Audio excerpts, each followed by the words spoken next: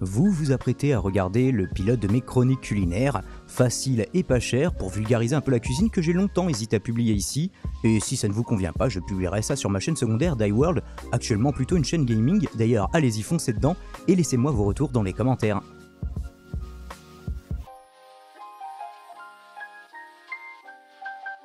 Bonjour YouTube, c'est Daimon. Aujourd'hui, chose assez inhabituelle, on va parler cuisine avec une recette que mon chef Yvan m'a transmise à l'époque où je bossais en cuisine, à savoir le suprême de volaille. C'est une recette qui est vraiment super facile à faire, assez économique, et généralement ça a de la gueule. Vous pouvez vous la péter avec ça. Et là, donc du coup, l'ingrédient principal, évidemment, des escalopes de poulet. Je vais vous expliquer comment on va les détailler, comment on va les assaisonner, comment on va les cuisiner, éventuellement l'accompagnement qu'on va avoir avec, et peut-être même une petite audace, quelque chose que je vais changer. Pardon Yvan, pardon chef, mais je vais essayer d'innover par rapport à ta recette, et on, va, on verra ce que ça donne. Émilie, tu me diras, tu feras le cobaye du coup. Et euh, on va examiner tout de suite comment on fait la recette. Donc filet de poulet, on ne va pas les utiliser tels quels. On va les détailler en trois. Il faut savoir que le filet de poulet, le filet de poulet, il y a généralement deux parties. Il y a le, filet à proprement parler et il y a ce qu'on appelle l'aiguillette qui est euh, séparée. Donc on va couper avec une coupe un petit peu de travers. On peut commencer par l'aiguillette d'ailleurs, comme ça c'est plus simple pour l'identifier. Donc l'aiguillette c'est toute cette partie qui est un peu plus filandreuse sur le côté, avec des ratons laveurs qui viennent embêter les gens. Mais ça c'est normal. Donc la lame légèrement de biais, on coupe, hop, et on réserve. Pareil pour le reste, après on va couper un petit peu dans l'épaisseur, mais de biais. Donc avec la main sur le dessus, on ne peut pas se faire mal, et ça nous sert de guide. Pour couper des choses qui soient à peu près de la même épaisseur après pour la cuisson. Et on réserve, et on fait la même chose bien sûr pour tous les filets, pour qu'il n'y ait pas de jaloux. Ça t'intrigue ça, hein? Eh, je sais. Oula, là j'ai fait un geste de trop.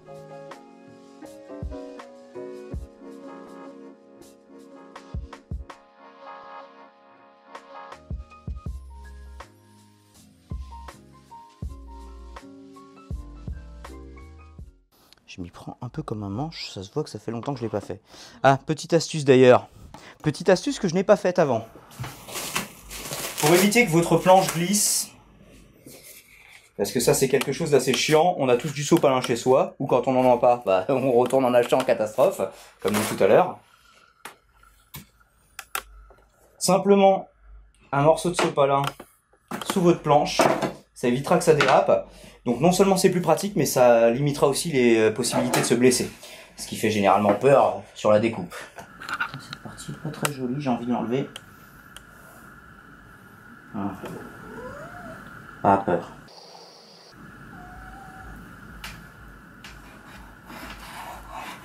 Bon, si vous avez un raton laveur et qui crie, c'est normal. Ça sent la viande fraîche. Et non, tu en auras un petit bout tout à l'heure quand ce sera fini. Hmm. Et si. C'est peut-être le moment le plus délicat de la recette, c'est qu'on veut que le poulet soit saisi d'un côté, euh, enfin des deux côtés même, mais euh, on veut qu'il reste tendre à cœur. Du coup, euh, généralement c'est soit l'un soit l'autre. Je vais d'abord le saisir et ensuite je le finirai, je le finirai avec une cuisson plus lente. Là pour l'instant on va le saisir à feu vif dans de l'huile d'olive, donc l'équivalent de 4 bonnes cuillères d'huile d'olive. Hein. On va en faire que quelques-uns en même temps. Ça va saisir assez vite. Voilà, c'est vraiment juste pour le colorer pour l'instant, c'est pas véritablement pour le cuire. Elle commence déjà à colorer. Alors ça colore plus vite au centre que sur les bords, c'est logique. Et on peut déjà allumer la haute en fait. Alors ça asperge un peu, si vous avez euh, une petite grille, vous utilisez évidemment la grille pour éviter de vous brûler. En cuisine, on apprend à endurer la douleur, donc j'endure stoïquement les éclaboussures d'huile bouillante. Puis j'aime ça.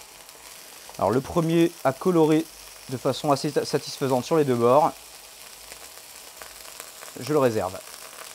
On les passera dans un peu de sopalin, mais de toute façon ils recueront dans l'huile. Alors pour l'instant on ne sale pas, la sauce elle-même sera salée, enrobera le poulet, donc il n'y aura pas besoin. Et nous, on l'accompagnera de risotto, mais on peut l'accompagner de frites. On peut l'accompagner de beaucoup de choses, de frites, de haricots verts. Avec des haricots verts, la sauce est très bonne aussi. Euh, de pommes de terre, euh, que ce soit en potatoes, euh, en pommes vapeur. C'est possible aussi en pommes noisettes, en pommes dauphines. Voilà, là ça a bien coloré. pas encore assez. Je mets le bord le plus gros exprès au centre de la poêle, parce qu'il y a quand même des bonnes régularités dans mes coupes. Voilà, le bord le plus gros au milieu. Ici, ça, suffisamment coloré aussi.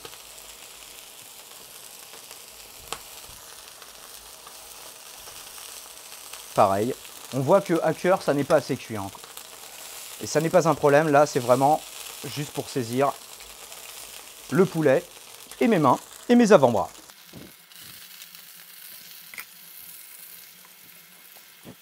On finit tous les poulets d'un coup. J'ai failli faire tomber celui-là. Là, on a mis le bord le plus fin au milieu et il ne faut pas. Plus il y a d'huile, moins ça dort vite. C'est pour ça que ça dort plus vite aussi au milieu. Parce que l'huile se répartit sur les bords, c'est aussi du fait de la mauvaise qualité de ma poêle. Voilà, ça, dort beaucoup plus vite. Hein. Alors pour l'instant, ça sent pas encore très très bon, forcément. Ça sent juste le poulet euh, en train de cuire, mais absolument pas aromatisé. Toute l'aromatisation, ça viendra plus tard. C'est comme le sel, comme je vous ai expliqué tout à l'heure. Voilà, vous pouvez faire une étoile de poulet. Étoile de poulet. Recette merveilleuse. Je me suis un peu perdu. C'est les recettes pompettes V2. Sauf que là, on boit vraiment. Mhm. Non, on fait pas des shooters, non. Ça, c'est assez cuit. Ça, c'est bien. Voilà, là, on a bien la petite coloration qu'on veut. Pas trop, faut pas que ce soit brûlé, faut que ce soit doré. Le cœur reste cru. Et ça, on va le parfaire tout à l'heure, encore une fois. Ah, il se détacha, c'est le morceau que j'ai raté tout à l'heure. Vous voyez, une mauvaise coupe. Morceau de poulet, pas joli.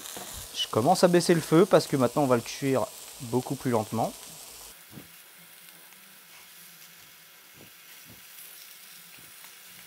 Donc une cuisson en deux fois. Voilà, j'ai une coloration qui est satisfaisante. On va laisser la poêle refroidir pour finir la cuisson. Et je vais vous expliquer comment savoir si votre poulet, comment votre poulet est cuit à cœur sans le trancher. Donc la deuxième partie de la cuisson, après peut-être un petit verre, on ne dira pas de quoi. Euh, pour euh, le poulet, là le but c'est de le cuire à cœur, mais sans surtout brusquer sa chair. Ça commence à chauffer, je me suis lavé les mains, c'est cool. Donc toujours le côté le plus euh, gros vers le milieu, on en met le maximum possible tant qu'à faire. Si ce n'est tous. Et donc, juste pour expliquer le contrôle de la cuisson, moi, dans les premiers temps, quand je faisais cette recette, j'avais besoin de prendre le poulet et euh, de, le cisailler, euh, de le cisailler au milieu pour vérifier la couleur de la chair afin de savoir si il était vraiment cuit ou pas. Alors je vous donne une technique qui m'a été transmise du coup par Mario. Là, le but, c'est de le cuire à point. Donc en fait, pour vérifier ça, il y a euh, un truc assez simple. En fait, c'est de vérifier par rapport à votre chair et de comparer à la chair de la viande que vous êtes en train de cuire. Ça marche pour toutes les viandes. Donc ça, ça correspond véritablement à une cuisson bleue cuisson bleue. Donc là, vous voyez, c'est assez mou. Enfin, vous, pouvez vérifier, vous pouvez faire le test en même temps. Euh, ensuite, quand vous joignez le majeur avec le pouce, toujours avec la même portion euh, sur la base, sur la pulpe de votre pouce, à la base de votre pouce, vous vérifiez donc la consistance. Là, ça correspond, il y a un peu plus de résistance à du saignant.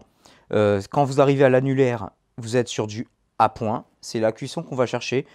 Là, véritablement, ouais, si je suis sur du saignant encore. Hein enfin du saignant pour du poulet, donc c'est quelque chose qu'on ne cherche pas. Et sur le dernier doigt, sur le dernier doigt, vous êtes sur du bien cuit. Donc le bien cuit, euh, en fait, il n'y a aucune viande qui demande à être bien cuite. C'est simplement le goût du client, le goût euh, ou de vos convives tout simplement, qui préfèrent peut-être une viande bien cuite.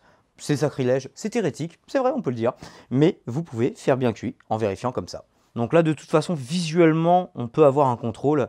On voit qu'il y a un liseré qui est encore complètement cru au milieu et on peut le vérifier avec simplement ce test-là.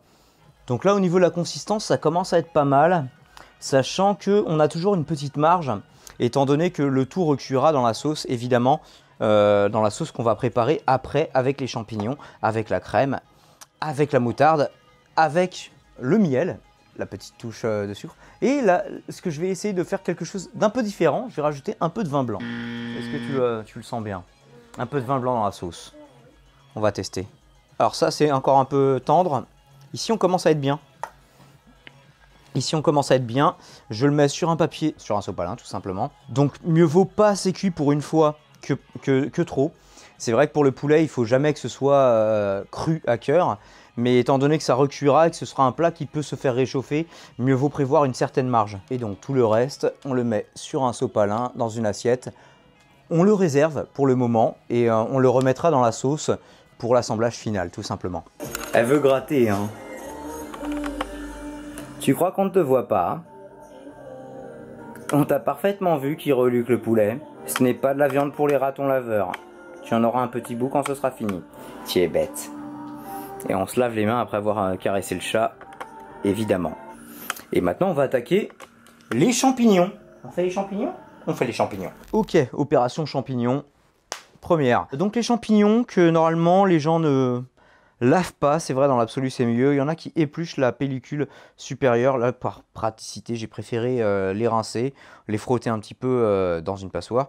Et je les ai essuyés parce que étant donné que les champignons déjà c'est 80% de flotte, ça va rendre beaucoup d'eau autant éviter l'eau superficielle qu'on n'est pas obligé de s'imposer. Donc on va les couper simplement en les prenant pied vers, soi, en les inclinant légèrement, euh, et puis on les coupe simplement en lamelles, tout simplement. Avec les doigts repliés pour éviter de se faire mal, évidemment. Et on réserve comme d'habitude. Et on fait ça évidemment avec tous les champignons, joyeuseté.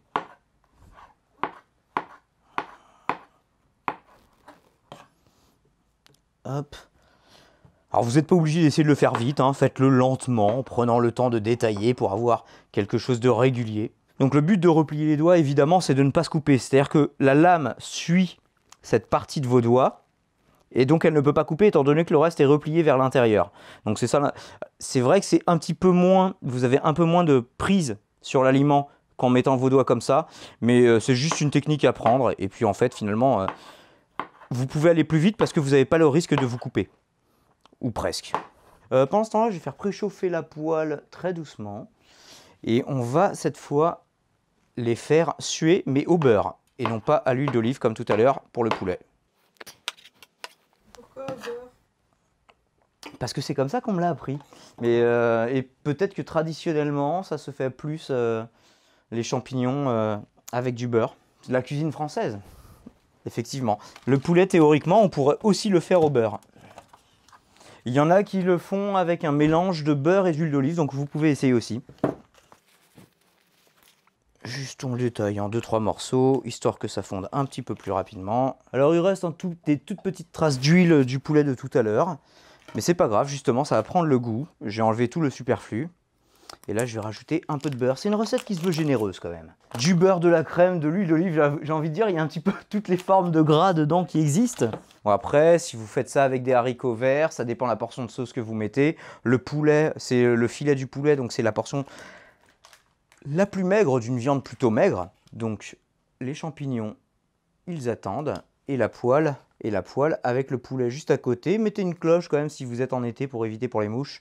Euh, là, je vais mettre simplement un papier d'aluminium. Mais ça, c'est pour mon raton laveur de compagnie. Si vous laissez faire vos ratons laveurs, il reste plus de poulet, malheureusement. Les champignons, tu vas pas me les voler quand même. Hein. On met le feu un peu fort le temps que le beurre fonde. Et après, on le baissera évidemment. Et vous entendez le magnifique bruit de quand je me lave les mains. Il faut se laver les mains régulièrement, évidemment. Quand je bossais au resto, dès que je faisais une manip qui pouvait être contaminante, lavage de mains immédiat, évidemment. Ah bah ouais. Non, mais je me lavais les mains, euh, genre, euh, une dizaine de fois par heure, toutes les heures. Hein. Et donc, c'est ce qu'on appelle faire suer.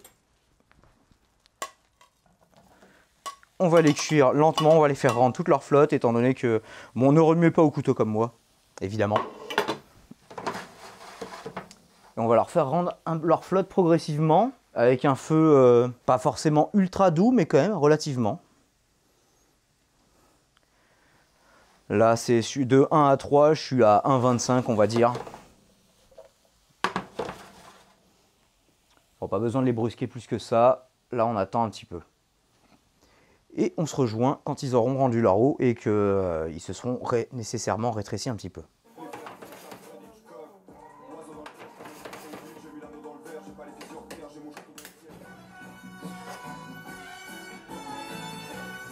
Donc là, les champignons ont bien rendu leur flotte.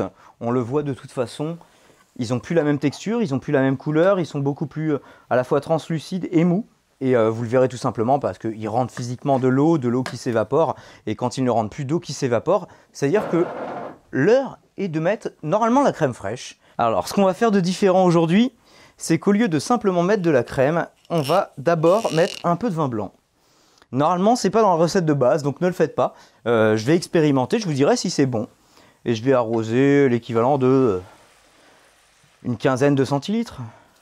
C'était vraiment très intéressant. Ah bah, bah, bravo Et j'augmente le feu pour permettre l'évaporation du vin blanc.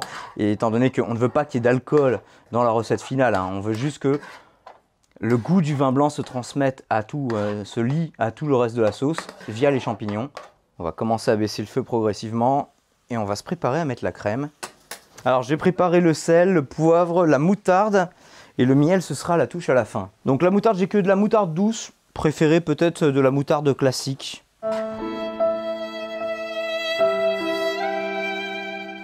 Ah, il y a un champignon qui est tombé par terre. Ça a-t-il si tu veux le manger? On verra si tu aimes les champignons. On va mettre la première brique.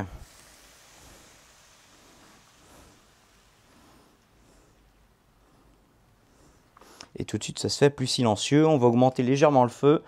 Le but, donc, c'est de la crème fraîche liquide. Le but, c'est de la faire s'épaissir. Alors, tout de suite, les ratons laveurs à court, évidemment. hein. Les ratons laveurs aiment beaucoup la crème fraîche, il faut le savoir. Et on va mettre encore plus de crème fraîche parce qu'on est gourmand.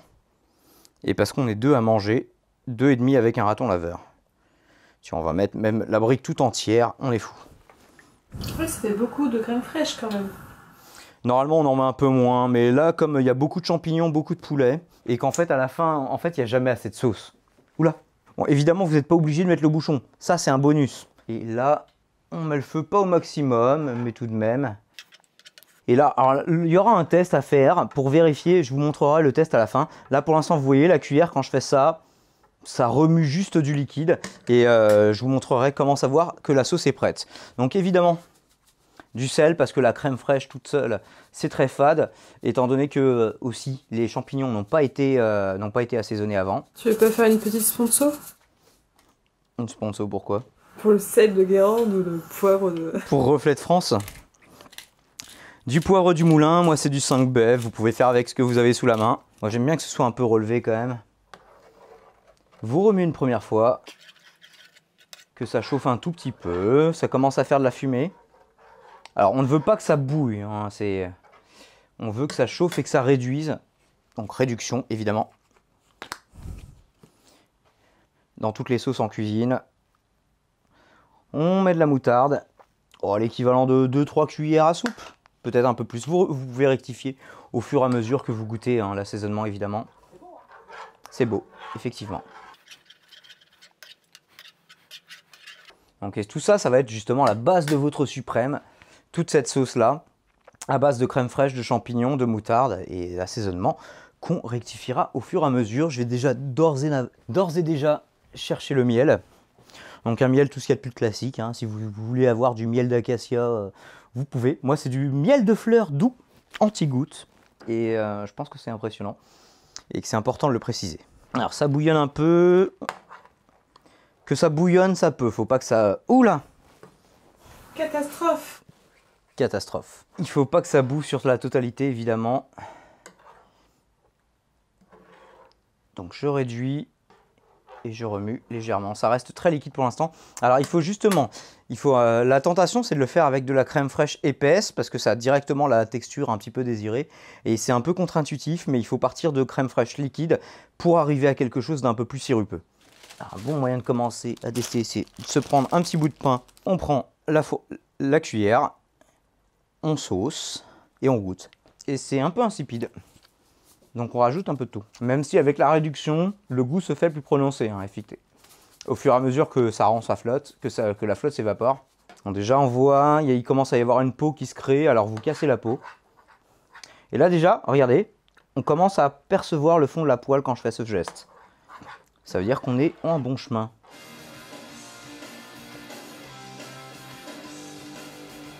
Et là, la sauce commence, à force de bouillonner, à avoir la bonne consistance. Donc n'oubliez pas de remuer pour casser la peau au fur et à mesure. Et en fait, le bon test, c'est quand vous faites ça. Là, on n'est pas tout à fait, mais on n'est pas loin. Vous voyez, quand euh, la sauce est assez nappante, ça reste une petite seconde. Là, ça reste moins d'une seconde. Il faut encore attendre un tout petit peu de réduction en plus. Je viens de goûter le goût. Au niveau du goût, il n'y a pas besoin de rectification d'assaisonnement. Et on rajoutera le miel tout à la fin avant de remettre le poulet dedans. Là, on commence à être pas mal. Alors pour le miel, c'est évidemment à votre convenance.